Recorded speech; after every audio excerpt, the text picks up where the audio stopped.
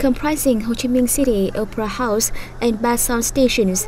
The CP1B package, whose construction began in August 2014, has 80% of the work fulfilled.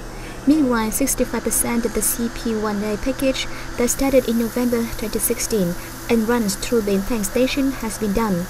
From now on, railway and relevant equipment are going to be installed. With the two packages being connected, we are going to deploy next steps more smoothly.